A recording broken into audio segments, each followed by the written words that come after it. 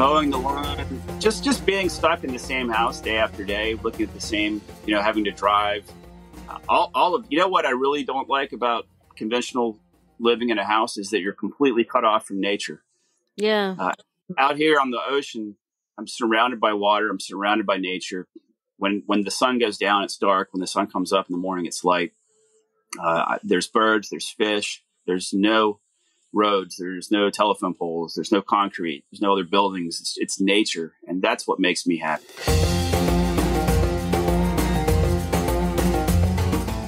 Hi, friends. This is Read and Write with Natasha podcast. My name is Natasha Tynes, and I'm an author and a journalist. In this channel, I talk about the writing life, review books, and interview authors. Hope you enjoy the journey. Uh, hi, everyone, and welcome to another episode of Read and Write with Natasha. So, today we have with us a sailor author. Uh, his name is Paul Trammell, and he lives on his sailboat and is currently in Panama. Uh, he wrote a number of uh, uh, fiction and nonfiction books. His latest book is a thriller called Until They Bury Me. He's also the host of two podcasts, Offshore Sailing and Cruising with Paul Trammell, and Dream Chasers and Eccentrics. Wow. Paul, how is life in the boat? oh, it's wonderful. It's it's a dream. I'm I'm living my dream out here for sure. I, I enjoy. I know, like I'm so jealous. I want to be on that boat. So, thank you for joining us today, Paul. And uh, and of course, my first question is going to be about the boat. So, how long have you been living on the boat, Paul? I bought this boat in 2019, I, uh, right after I sold my house. So I sold my house first, and then went boat shopping. And I've been living full time on this boat since October of 2019. So almost four years now. Oh, wow. What made you decide to live this, you know, unconventional lifestyle, you know, just, you know, quit living in a house and live uh, on, on a boat? Well, I was in a, a stage of my life when I was just changing everything. And, you know, it all started in 2015 when I quit drinking. I used to be a big time partier. Uh, I, I, drank beer, all you know. I drank a lot, and I smoked a lot of weed. And I was a musician. I was in a band. I was chasing a different dream at the time, and it just got to be too unhealthy, too much. My life was kind of going downhill, and I got sober, and I just changed everything about my life. And sailing became a substitute for all the partying and all the good times. And uh, I just got really hooked. I had a different boat at the time. I had a, I bought a smaller sailboat, and I spent two months with it in the Bahamas and I loved it. After two months, I, I wanted more. I, I, was wondering if you know if I was going to be worn out and ready to go back to land and tired and dirty and beat up, but I wasn't. I felt great. And I remember thinking like, yeah, I could live like this, and that just started the dream. And as soon as I figured out how to make you know how to put all the pieces in place, I pulled the trigger.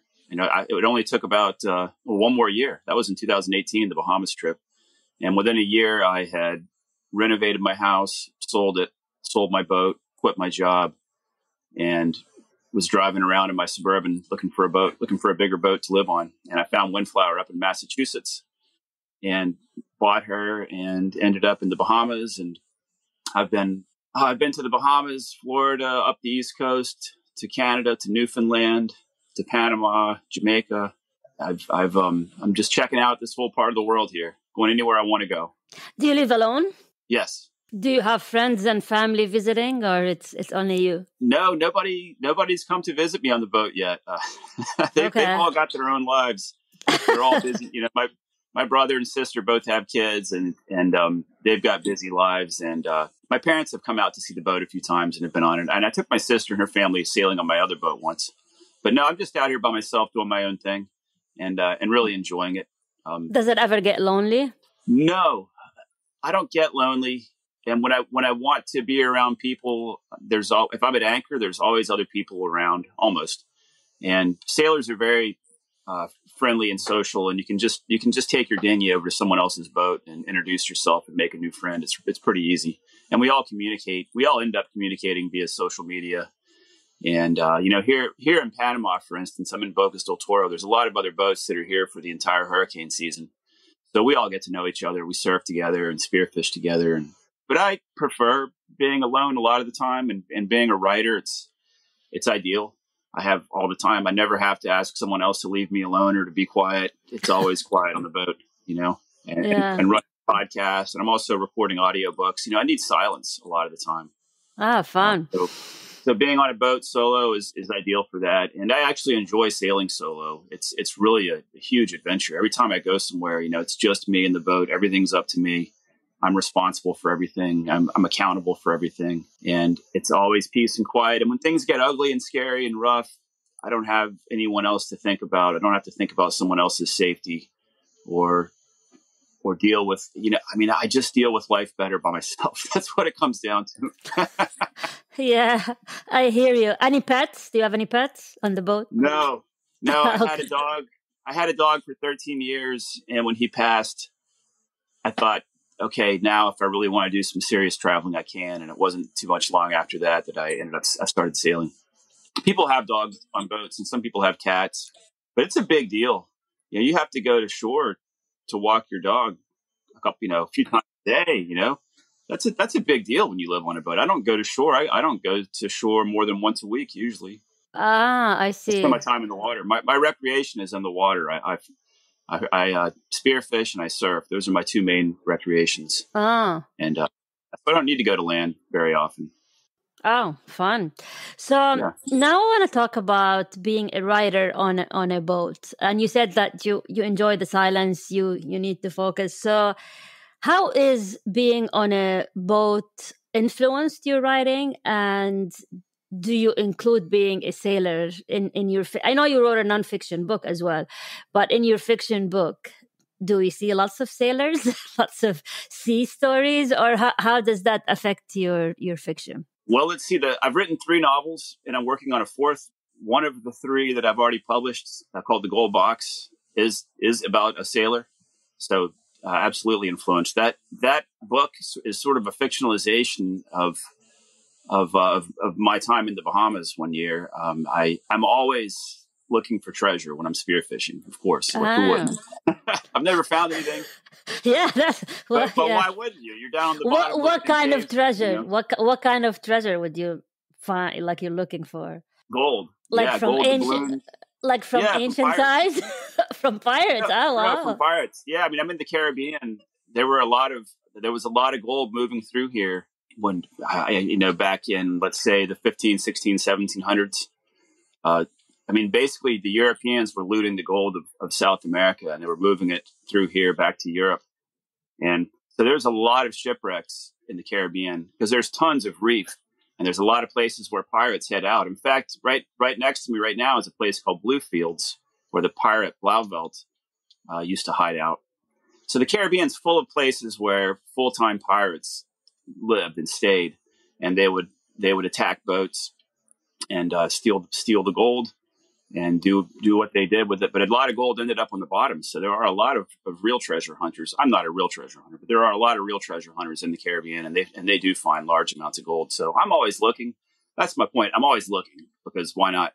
So of course, being a writer, I think up scenarios and and, and it's a it's an interesting question. What do you do if you're spearfishing, especially with another person, okay. and you find a piece of gold? Right away, you have to decide if you're going to tell that other person, right? Eh, because if you tell them, now they know about it, and once two people know about something, then then potentially the whole world knows because it's hard to keep a secret.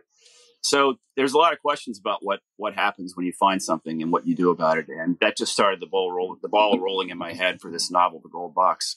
And then the novel I'm writing now is also about a sailor. Uh, this one brings up the question of what happens when you bring a, a stranger on board, ah. uh, and and you don't you don't know them. Like in this book, a guy meets a meets a woman because there's always there's always people who want free rides on sailboats. There's there's websites there's websites for that sailboat hitchhikers and and um, there's a lot. I mean, I did it too when, when I was learning how to sail. I did that. So I took a I took a ride on a boat from Saint Lucia to Puerto Rico, and I recently had a woman on board who was just wanting to travel and learn how to sail. So that got me thinking, what happens if that goes bad?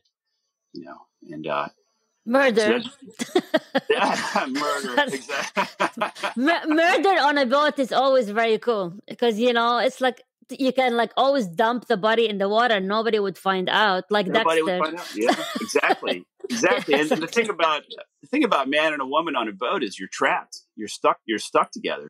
There's nowhere to go. You mm-hmm. can't just walk away. When you're on land, if you're in a, in a bad date, you can just leave.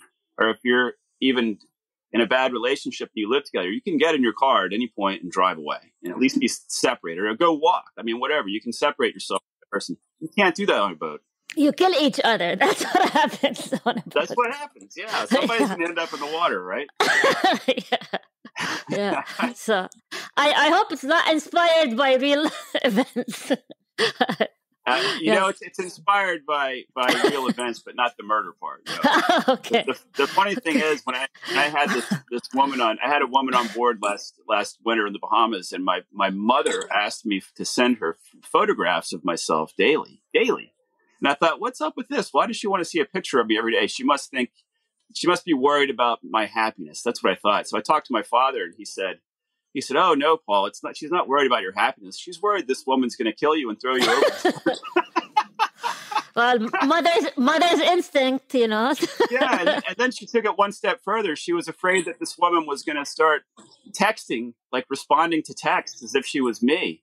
Okay. So she wanted photos. So that got me. That got me thinking. Well, that's a novel. That's the start of a novel, right? Maybe your mother watches a lot of Dateline. I mean, I watch a lot of Dateline. yeah, something makes me a little paranoid. Yeah, yeah. yeah. So that's the, oh, yeah, so that's the premise for the book I'm working on now. The the working title for that one is Identity Crisis. Um, oh wow. Yeah. That's very cool. That's very cool. So, what was the craziest thing you've ever encountered you know while you're living on the boat and did it make it in in your books? Like the craziest story. Like you saw i don't know a shark a whale uh, i don't know a pirate something crazy. Well gosh a couple of things come to mind. I mean the craziest thing that happened to me was and it did make it into my book uh, journey to the ragged islands. That's the okay. that's the story about my first trip to the bahamas uh, in my smaller sailboat when i was when i was brand new to sailing.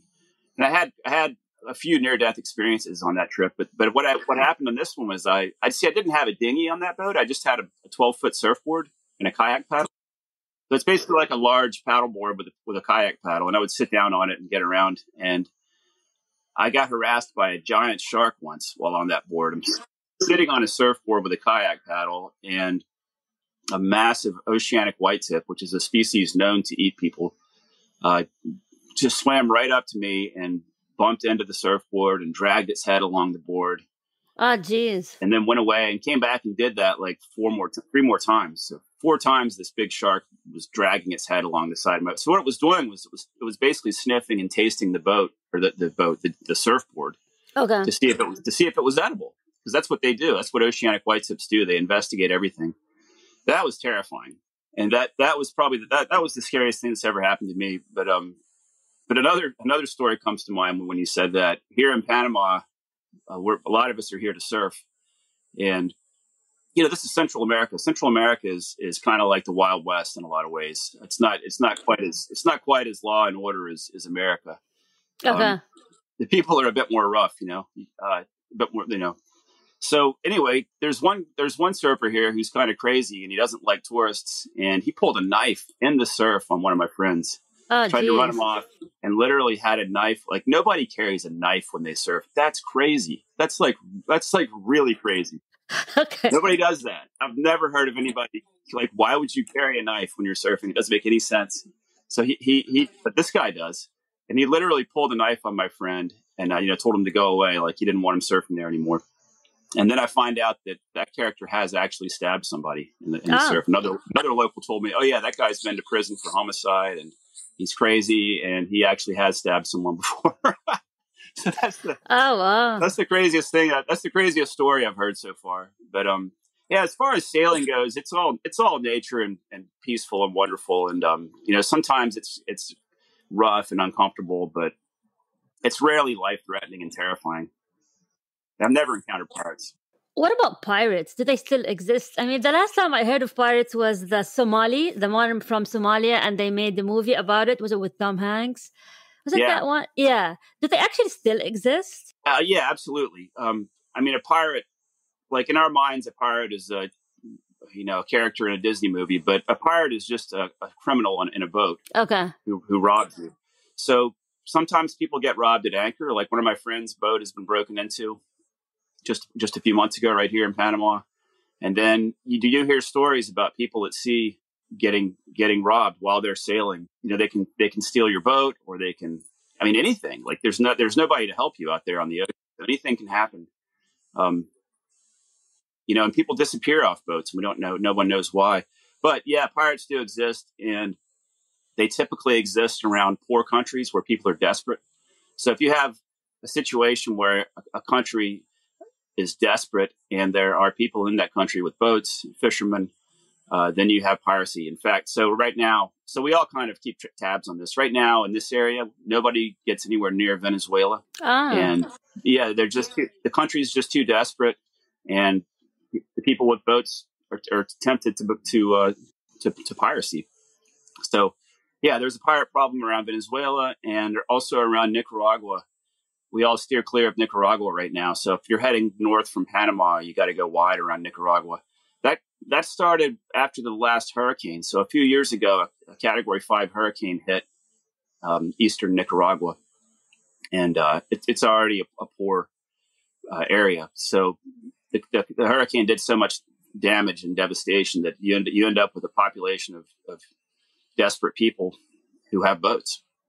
Oh, and if, oh. if, if they're out, you know, I mean, imagine yourself, you're, you're, you're, you're desperate, you're poor, your family's hungry, you're out in your boat and you don't even have enough food to feed your family and you see a sailboat and the sailboat's pretty and nice and it's, and it just represents wealth to you.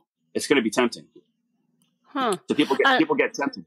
How do you protect yourself? Do you have weapons on the boat? No, when I when I first started sailing, I had a gun, but it's just too difficult to travel through foreign countries with guns.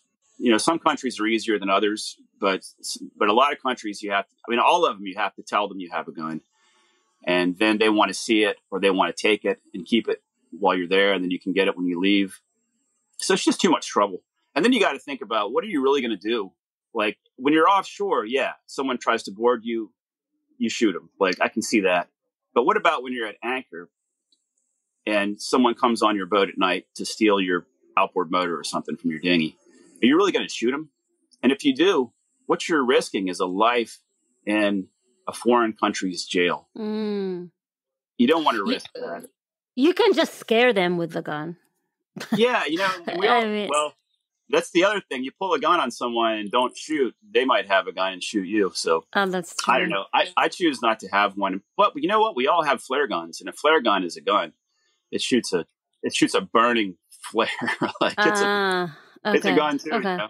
So there is that, but um, it's not something that is really an issue. I don't really go to dangerous places. Like I stay, like I love the Bahamas. There's no need to have a gun there. Everybody's friendly in the Bahamas. Here in Panama, yeah, there have been some instances here that you need to know about, and you need to. We all kind of keep tabs on where it happens. We stay away from those places, and we kind of tend to stick together. Right now, I'm off by myself, but I'm in a safe place. I don't. I don't feel threatened here. Hmm. Uh, What do you eat on the boat? okay, I eat a lot of fish because I spearfish. So yeah, that's what I was not- thinking. Yeah, more often than not, dinner is either fish or lobster. Um, here in Panama, there's there's grocery stores close by and an abundance of fruits and vegetables. So I'm always eating fruits and vegetables here. In in the Bahamas, you better be bringing all your own food. Uh, there's definitely you're not going to find much in the way of fruit and vegetable there, and the food's all expensive. So so when I'm going to places like that, I'll stock up on canned food and dried food. You know, rice, beans, uh, granola uh, trail mix, oatmeal, uh, canned fruit, canned vegetables, canned chili, crackers. But staples for me are going to be oatmeal, trail mix, canned beans, rice. But here in Panama, it's it's, it's delightful. I, I'm eating bananas and pineapple for breakfast, and salads for lunch, and Hmm. And uh, fish for dinner. I'm eating very well. That's what I wanted to add. Yeah. So, and how does that affect your like health? Do you feel more energy? Like now you're in nature, you're Yeah. eating fish. I guess you don't eat much meat, right? Like red meat or Yeah, I never I never buy red meat. yeah. because it's it's expensive and, and I don't feel the need to. I, I eat enough fish. I love fish. I mean, fresh fish is best. Fresh, fresh fish is really good. It's, it's it's hard for someone who doesn't know that to understand because because fish once it's been a few days old isn't that good anymore, and if it's been frozen, it's just not that good anymore. It changes flavor a lot. Uh, some fish in particular, for instance, tuna or mackerel, you need to eat them like the first day you catch them, maybe the second day. But after that, they the flavor really changes. Um, other fish, not so much, but it, but any fish is is way better fresh than it is once it's been uh, frozen or, or sat in the fridge for a few days. So how how do you cook them? Like, do you when you cook on the boat, do you grill them or like how? Uh, what do you do when you cook them on the boat? So I have a, a three burner propane stove with an oven, and uh, I, I typically just put the um, I typically uh, saute some onions, Okay. and then some, then some bell pepper and some tomato, and then I put the fish in there with that. okay. Saute it in a pan, you know, pan fried with some veggies and some rice. That's a pretty Yummy. standard meal. Yeah. Yummy. Yeah, Ah. that's what it was last night. It was gray snapper, and uh, you know I, I started off with onions and then bell pepper, like red bell pepper next, and tomato and garlic, and then I put the snapper in there, and then I put some beans, some beans and, and rice that I cooked in coconut milk, which is delicious. Uh, all that together, and uh, and um, ah, it was mighty good. Yeah, fantastic. I mean, that's I eat better now than I ever have. Yeah. So you fish every day. So like every day you go and you basically bring your dinner from the sea. I, I spearfish almost every day when the conditions are good for it. Uh, sometimes I'll get a big fish and I won't need to spearfish for a few days. Mm, But- okay. But I'm often I'm I'm at least half the days. Like here in Panama, it's probably about half of the days I go spearfishing. Um, when there's when there's surf, I'm spending my time surfing. So there's when this there's this surf is seasonal here. So when the surf is on, I'm, my my all my free time is surfing. But I can also catch fish with my rod and reel uh, right off my boat. Ah, very cool. So sometimes, especially at night, I have a light that shines down into the water off the bow of the boat. I can just go forward and, and catch fish at night whenever I want to as well. So Oh wow. that's pretty easy. Would you ever go back to living in a house? Uh, it might happen someday, but I have no plans for that now. I, I like it too much out here. Yeah, I mean, I, I'll get. Yeah. I mean, who knows? Things always change. Uh, but but for now, no, I have no desire. I have a fear of having to go back to land. As a matter of fact, like I'm, I'm doing everything I can to uh, make sure I get to stay out here on the water because this is this is the good life for me. What What are you afraid of? living in a house, having to get a having to get a job. Uh, oh yeah, mowing the lawn. Maybe mowing no. lawn, just just being stuck in the same house day after day, looking at the same, you know, having to drive. All all of you know what I really don't like about conventional living in a house is that you're completely cut off from nature. Yeah. Out here on the ocean, I'm surrounded by water. I'm surrounded by nature. When when the sun goes down, it's dark. When the sun comes up in the morning, it's light. Uh, there's birds. There's fish. There's no roads. There's no telephone poles. There's no concrete. There's no other buildings. It's, it's nature, and that's what makes me happy.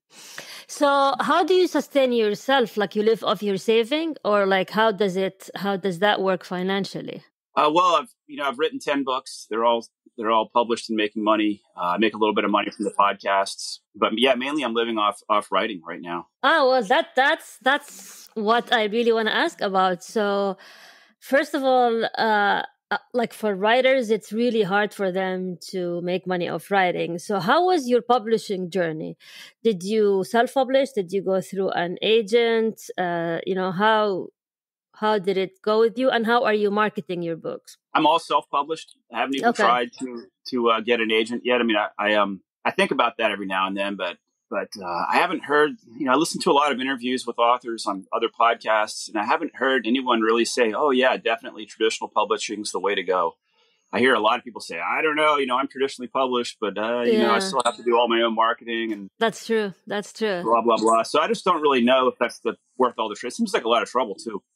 So I've been- yeah. Yeah, I mean, how many how many cover letters do you have to write? now? Exactly. Exactly. it looks uh, this looks like a terribly hard journey. So, and then the alternative is to spend one day, maybe two days, on the computer, and your book's published through Amazon, and you get to keep sixty percent of the royalties.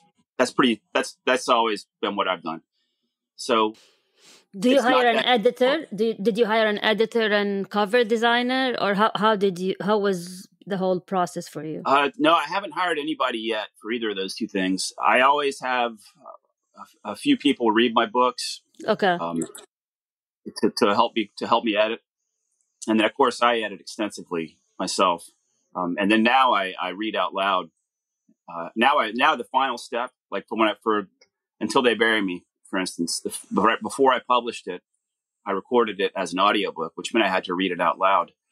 And uh. you really catch mistakes that way. So that's my final edit is is reading it out loud and recording it because you have to you see every word, you see every comma, every period. Um, but I always have friends friends help uh, to edit, and uh, that works. That works fine. You know, I, I still see typos in traditionally yeah, published books. That's true. That's true. It's not foolproof. Yeah, either way is foolproof. I've designed all my own covers except for the gold box. A friend of mine did that cover, and that's that's actually a really nice cover. But the rest of the covers I did.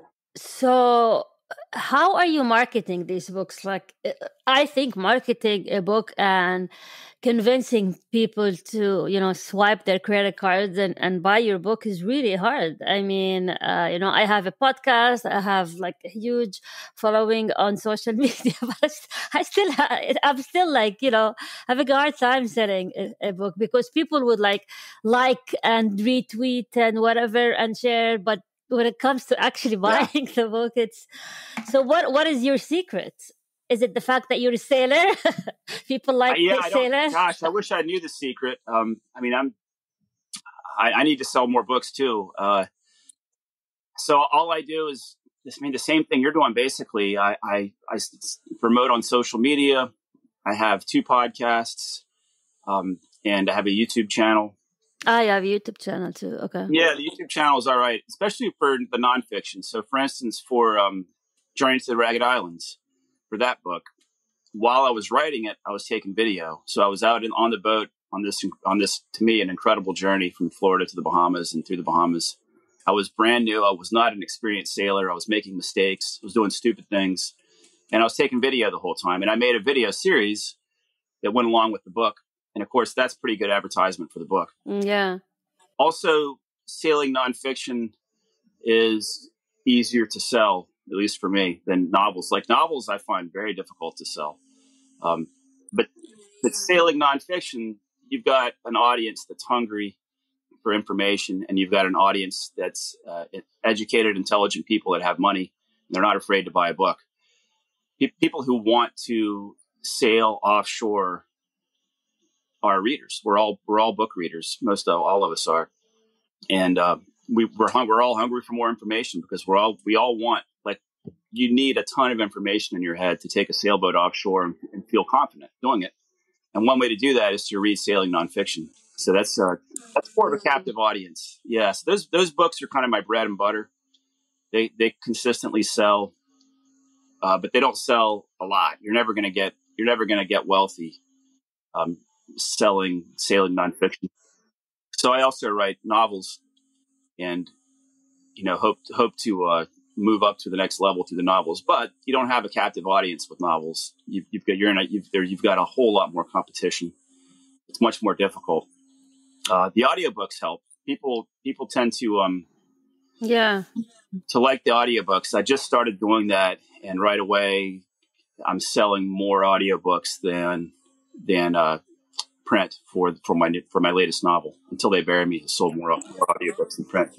So how do you do it? Do you record it yourself and then you sell it to Audible? How how does the process work if you're um, self-published author? Okay, so for an audiobook, you go you go to um, Audi, Audible, and their their website is ACX, and you gotta you gotta spend a day reading and deciphering everything they tell you. And it's it's very it's very daunting. Uh, it's hard to figure out. You need a good microphone. I've got this uh, this Shure on a boom right here. Ah, uh, okay. This is this is this is a this is a good microphone. You got to have a pop filter. You got to have it on a boom like this. Ah, uh, I see. Okay. I also podcast with it. The great thing about this mic is it's directional. You have to be right here for it to pick up anything. It doesn't pick anything up. Okay. Elsewhere, so it's it's it's good for, and that's what this is too. This is soundproofing behind me. this is my little ah. studio. I see. Oh, it's falling on me. Okay. Uh, so anyway, yeah, you go through Audible, you go through their program, you record each chapter individually. Uh, they tell you if there's anything wrong with it. Usually, sometimes they don't. Sometimes you finish the whole book and then they send you an email saying, "Oh, there's a problem. There's this very vague problem with your entire book," and then you have to go and figure out what that is, and it can be really difficult. But you know, in the past five months, I've I've recorded four books, and I'm on my fifth right now. So, you know, I'm getting it done. It's a lot of work, but I'm getting it done. You can also have someone else do all that and split the money with them. There's a whole bunch of people on Audible who are who are offering their services. Oh yeah. Yeah, contractors. What what they typically want is half the royalties or cash up front or a combination of both. So I'll be as soon as I get all my books done, I'm gonna I'm gonna offer my services there too for just an extra source of income. Ah yeah, that's a good gig. Yeah, yeah. So if you have a book and you want to make an audio book and you don't want to record it, you can have somebody else do it, but you're going to be Yeah. giving up half half the royalties. So I can hire a narrator, and I as well, Yeah, and I tell that person. Yeah. Oh, good. Yeah, I'll, they'll- I'll they'll do probably do that. Yeah, I'll yeah, I mean, why uh not? It, it's a it's a whole it's another source of income. I mean, some people only listen to audiobooks. I listen to a lot of audiobooks uh, as well because uh, I'm like busy with three kids and everything. So that's sometimes that's the only time I have is I listen to audiobooks while I like you know make dinner or whatever, walk the dog. It's it's you know especially nonfiction. I like listening to nonfiction uh, on audiobooks. Yeah. Wow. Now now I really want to live on a boat. it's really nice life. It's like you know just Yeah. eating fish and you know being People attacked by sharks. like, Yeah, hey, it's it's good living. I mean, it's it's it's also kind of like camping. Don't don't forget. yeah, I love air camping. Yeah, You know, I'm in yeah. I'm in Panama. It's it's uh, 85 degrees every day, and I don't have air conditioning, so you got to be okay with that. I just went don't want to do the work. I just don't want to do the work. I just wanna, I just want to sunbathe and read. Just somebody Yeah. else can do the work. okay. But- Uh, you need to find a lonely. You need to find a lonely guy with a boat who wants Yeah. who wants who wants a wife who's a, who's, a, who's a writer with three kids. I know. that is funny. Uh, but yes, uh, wow, this is this is fascinating. Are there any other author sailors, or like, are you is your story unique? No, there's definitely other author sailors. There are, yeah, I like I met uh, John Kretschmer last year when I was in Canada. He's a he's a very accomplished author sailor and a very accomplished sailor. A fascinating character. He's he's written some great books, and he's he's a great guy. And uh, he sailed more miles than I'll ever sail. All all he does is just sail laps around the Atlantic with with paying customers. That's kind of his gig.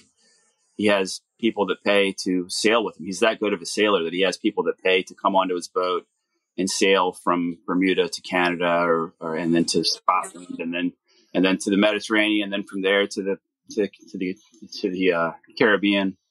So I met him when I was in Canada. He was taking customers from from Nova Scotia to uh, Newfoundland, and then he went to Greenland from there, and then to Iceland, and then to Scotland.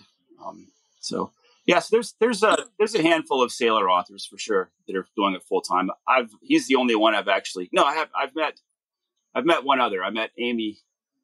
I can't remember her last name. I met another another author who lived on a catamaran, and she wrote uh, Ah, romance female. Ah, wow. Ah, ooh, Yeah, romance was novels on a sailboat.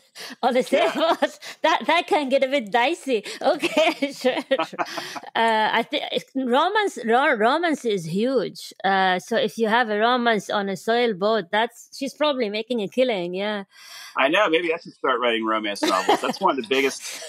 I know. That's one of the biggest selling genres right now. Colleen Hoover is selling now more than the Bible, I think, more than Stephen King. Uh, it's and, and Yeah, she started actually. She started as a self-published author, and then through TikTok, she became huge. And I read few of her books. They're actually they're quite good. I mean, I'm not really into romance, but they're they're entertaining and fun. Um, so I would, you know, I would buy more of her books. So you said you use social media, right? Where Yeah. do you think you get the most attention and most like the highest ROI on which social media? Where like you focus your attention on one platform and then you get, you know, the highest the, the biggest result, which in your case is sales. Where do you think you get the biggest success on social media? I think it's been um, Facebook, but Facebook. Oh, interesting. but it might be YouTube because here's the deal: when I when I lived on land, I had good internet, and I made that video series, Journey to the Ragged Islands, and then Journey to the Ragged Islands was a, a big seller in 2018, and that's what convinced me that I was going to be able to make a living writing books and sailing. Then I started sailing and I didn't have good internet anymore. So I quit making videos. And then just recently I got Starlink and now mm. I can make mm. videos again. Because it takes a lot of, it takes a lot of uh, b- bandwidth to upload a video to YouTube. Um, with Starlink, it's no problem. And if you're at home on your computer and you have good internet, it's no problem. But trying to do it through the internet on your phone, it doesn't it doesn't work. So, so I'm back ah. on I'm, I'm back onto YouTube. Okay. And uh, because I think that was very very effective for me, uh, especially with I sailing, did. because because there's a lot of people who Videos, like sailing yeah. videos. Yeah, sailing YouTube channels are hugely popular. Uh, ah. Now, now with some genres, it's TikTok. For romance, it's definitely TikTok. I, I tried TikTok for a little while and, and got frustrated with it and quit.